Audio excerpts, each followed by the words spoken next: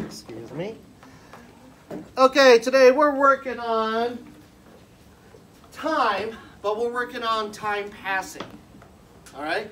So first of all, let's look at this as an example. If I said it was 5 o'clock, and I asked you what it's going to be 15 minutes from now, well, the easiest way to find that out would just be to add 15 minutes. But remember, you have to do it over the minutes section.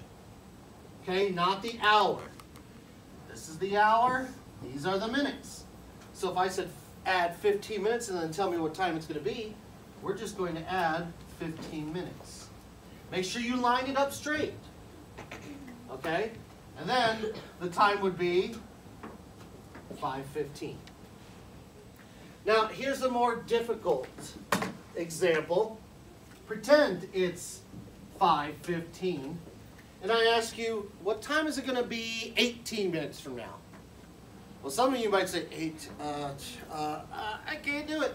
And you're looking at this clock and you're like, okay, it's, uh, it's 5.15, uh, 18 minutes. Okay, forget this clock.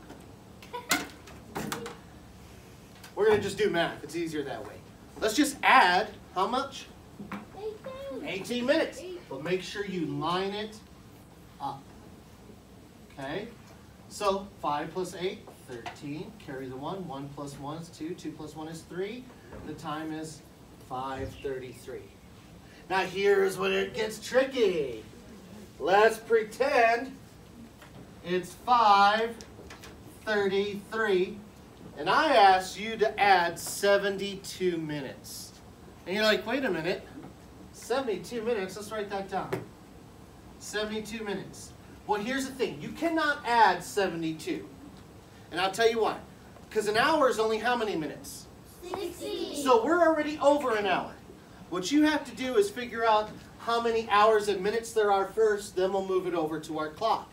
So, how many minutes are in an hour? 60. So let's subtract 60 from the 72 minutes. That's already one hour. I'm putting one hour right here. One HR. Because we're subtracting 60. And what's left is 2 minus 0 is 2, 7 minus 6 is 1, 12 minutes. So now we're adding one hour, 12 minutes. Check this out.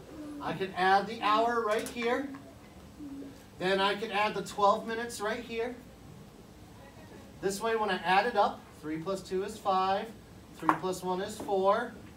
5 plus 1 is 6. We know it'll be 645. Okay? That's all you have to do. You have to subtract the minutes or that equal an hour so that you know how many hours and minutes because you cannot just add 72. That will not work. I'll, sh I'll show you. 533 plus oops, 72 510 605 doesn't match up. Can't do it. That's why you don't add the minutes. So let's pretend we have 645 and I want you to add 63 minutes. First step, we have to find out hour and minutes because we know it's over what number?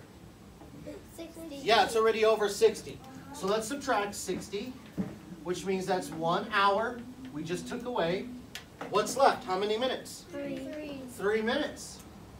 So now I come over here to my time, and I'm going to add my one hour and three minutes. Don't put three here, because that's 30. See? It's three minutes. It's in the ones place. So it'll be zero, three. Now let's add that up. 5 plus 3 is 8. 4 plus 0 is 4. 6 plus 1 is 7. The time is 7.48. Okay, hopefully this helps.